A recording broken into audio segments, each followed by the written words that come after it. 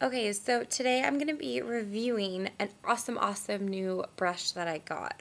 Um, it's not usual that I do like brush specific reviews, but this one I needed to talk about. And it's from Laura Mercier, and it's her finishing eye brush.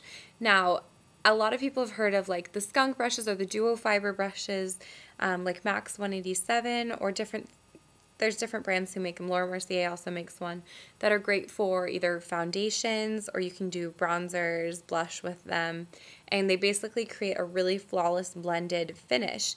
Um, this brush, the finishing eye brush, works very, very similarly to those. It's a dual fiber eye blending brush, which is genius because if anybody has ever um, use one of those brushes for your face, they're so fabulous because there's never a harsh edge. Because of the two types of fibers, the whites are fiber optics, so those are going to be synthetic um, and they're really stiff.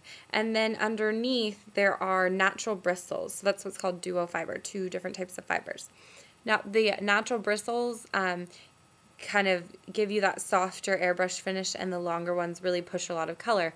So when you use this, you get like a perfect blend every time. So I've been using this religiously.